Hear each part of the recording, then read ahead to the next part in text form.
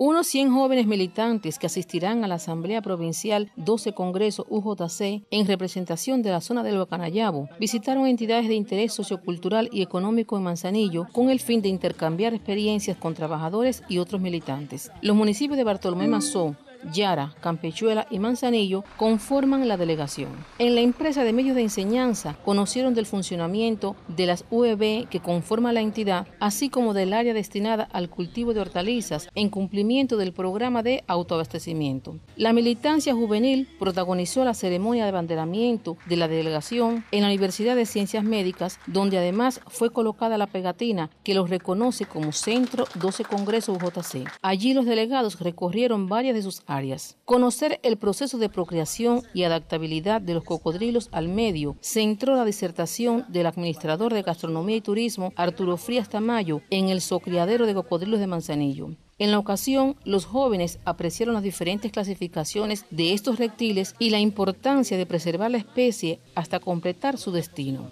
Haciendo valer que la juventud crea tu felicidad, el esparcimiento de la vanguardia juvenil se completó en la Casa Chalet de la Vuelta del Caño, donde disfrutaron de música grabada y el baño de piscina. Convencido de que esta es la revolución, los jóvenes militantes del Guacanayabo están llamados a crecer, a fortalecerse y a probar su heroísmo como organización de vanguardia. Pedro Zamora y Virgen Mustelier, Sistema Informativo de la Televisión en Granma.